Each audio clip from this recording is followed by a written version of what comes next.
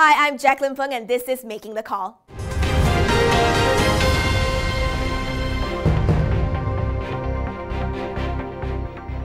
With Malaysia's largest power cable player, Sarawak Cable Berhad or Scable. According to Hong Leong Investment Bank, the company is a proxy to the Sarawak state election play due in mid-June next year. The state has identified 12 dams to be built and with Sarawak Energy no longer listed, Scable stands to benefit. The Pan-Borneo Highway is another prospect as Scable plans to supply steel structures. Hong Leong has a buy rating on Scable, target price 2 ringgit 57 cent. That's a 64.7% upside. As for potential in the peninsula, Scable is bidding to supply 275 kilovolt cables and transmission line construction at Rapid. Elsewhere, Scable holds a 20-year PPA to supply electricity to Indonesia's national utility company via a mini hydro plant in North Sumatra. The stock is currently trading at 1 ringgit 61 cent from 1 ringgit 56 cent last Friday.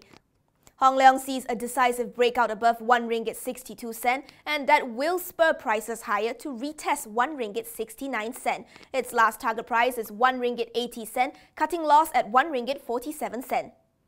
Now moving on to leading pipe coating company Wah Seong. Its pipe coating business unit has clinched a job worth nearly 167 million ringgit in Norway. Public Investment Bank has a neutral call for Wah Seong. Target price unchanged at 1 ringgit 6 cent, pegged to a 10 times PE and FY16 forecast EPS of 10.6 cent. Public Bank believes that although Wah Seong has a 5 billion ringgit tender book, the timeline of the awards is still unclear and it will likely be delayed, slowing down contract replenishments which will affect the group's overall performance. MIDF Research also has a neutral call for Wah Seong, target price unchanged at 1 ringgit 13 cent.